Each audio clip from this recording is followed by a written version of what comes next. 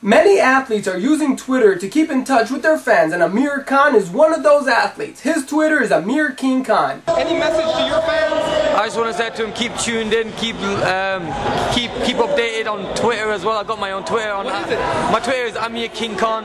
So Twitter me. Um, I Twitter all my fans the way my training camp goes and everything, and I just want to say to them, keep watching me fight, and I'm going to do them proud on May 15th. It's verified, it's really him that's doing the uploads and the updates, nobody else. And I'll tell you, that's not always the case. Take the mayor of Los Angeles, Antonio Villaraigosa.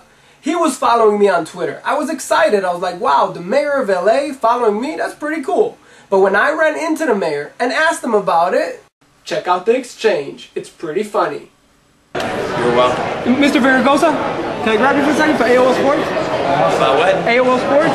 About Twitter? What about Twitter? Yesterday I logged on to Twitter and I see you're following me. I am. Isn't that great? That is great. In conclusion, if you have an account bearing your name, please be the one doing the updates. Don't have someone else do it for you. It's going to create some funny situations. So, there you have it. To keep up with Amir Khan, check out Amir King Khan on Twitter. And if you know of other boxers, other athletes that are on Twitter and it's verified that it's really them, leave their name, their login name, or their Twitter account name as a comment to this video.